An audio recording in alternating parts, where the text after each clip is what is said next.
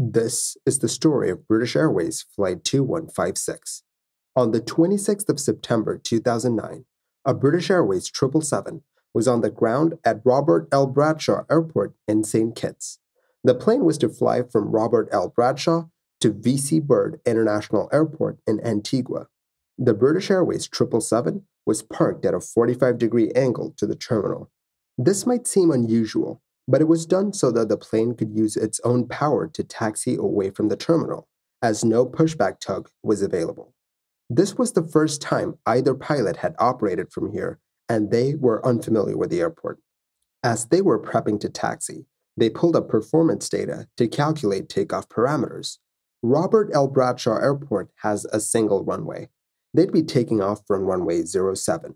But they knew that they did not need the entire runway for the takeoff run, they decided to start their takeoff roll from the point where taxiway Alpha joined the runway.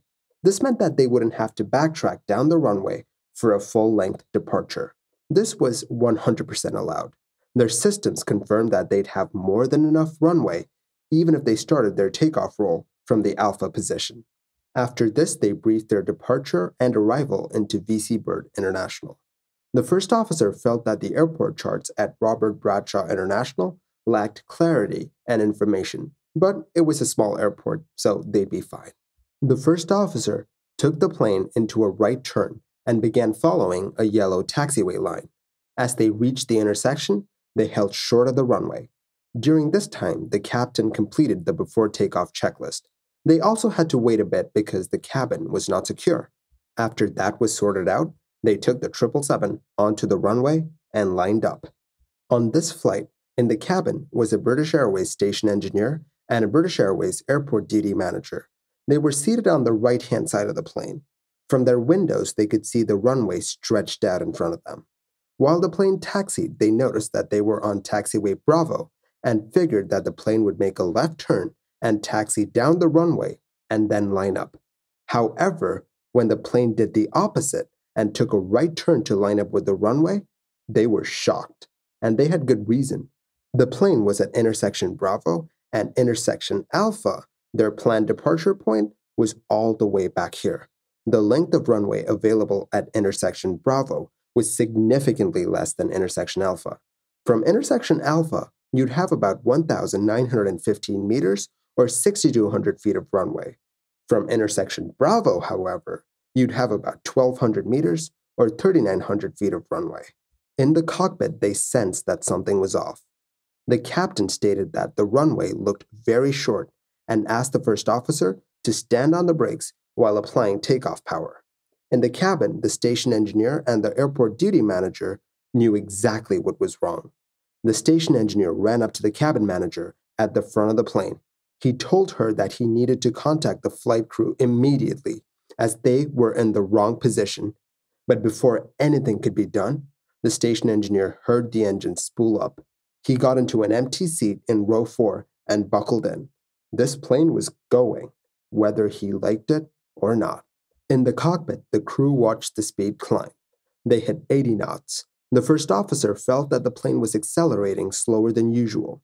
The plane was already at the touchdown markers at the other end of the runway. As soon as they had enough speed, they lifted off, and not a moment too soon. Just to put things in context, they lifted off about 1,000 feet from the end of the runway.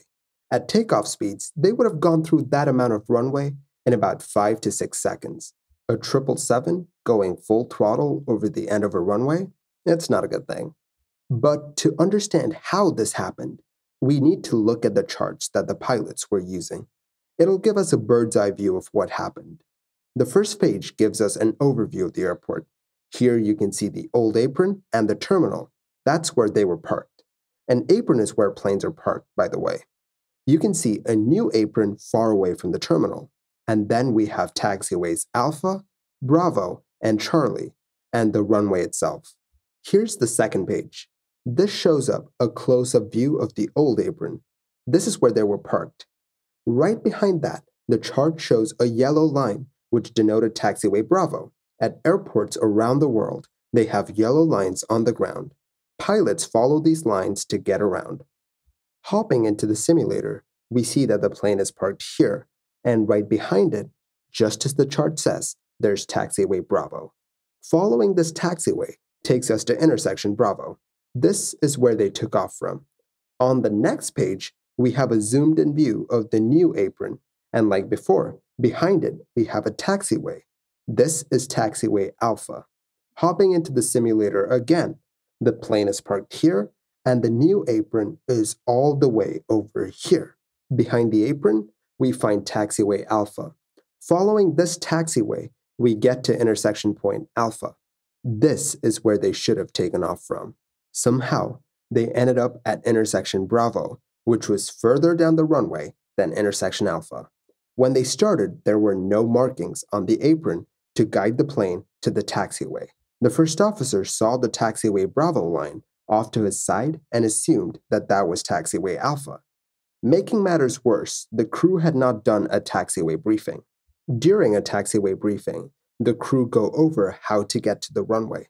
This is usually done at large airports, but since this was a small airport, they did not do the taxiway briefing. So the first officer followed the yellow line that he saw off to his right, believing it to be taxiway Alpha. The correct taxi path required them to veer away from taxiway Bravo and onto taxiway Alpha. That was a problem. To understand why, I want you to think back to the charts that we went over. The charts were not clear. The first page showed taxiway Bravo and not taxiway Alpha. The second page showed taxiway Alpha and not Bravo. It did not tell you where you had to turn to get to taxiway Alpha from Bravo. Actually, they did have another chart called the ECIAP that showed this intersection, but on the ground at the airport, this intersection did not exist. So, there was no physical yellow line connecting taxiway Alpha and Bravo, where there should have been. Had there been an interconnection, it might have made the first officer double check the taxi route, as he'd be unsure of which route to take. Due to this confusion, the 777 was on its way to the wrong intersection. On their way there, they held short of the runway for a while, while the cabin crew secured the cabin. Usually, airports have signs that denote taxiways and holding points. It's a way for pilots to figure out where they are on the surface of the airport. Think of them like the signs you see on the road. But this airport did not have those signs. This was a violation of ICAO standards.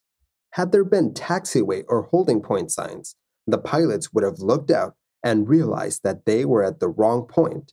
The really concerning thing is that this was not a one off occurrence.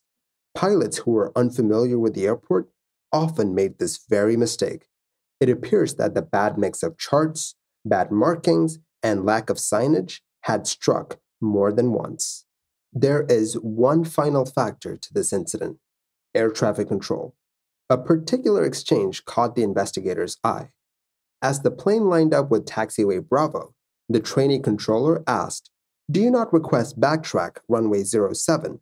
Because the controller expected the plane to backtrack down the runway and then line up. The crew replied with, Negative, we are good to go from position Alpha. The trainee controller did not challenge this. The trainee controller probably lacked the confidence to challenge the crew. After this, the trainee controller turned to their supervisor. The supervisor was puzzled as well. The supervisor had seen tons of plane take off from the Bravo intersection, but never a 777. And the supervisor assumed that the crew knew what they were doing.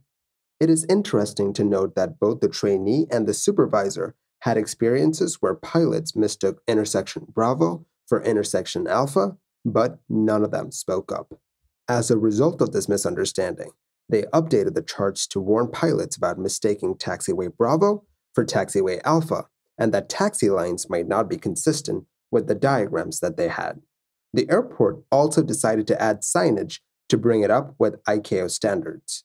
The controllers were given more training so that they'd warn other crews if they made the same mistake. Flight 2516 had a very narrow escape. Do you think that this would have ended in disaster had things been slightly different what if the plane had been a bit heavier? Or what if the winds were different? I'd love to hear your thoughts down in the comments below. Thank you for watching this episode of Mini Air Crash Investigation. If you like the videos that I make, do consider liking and subscribing. It will really help the channel grow. I will catch you guys next time. Stay safe.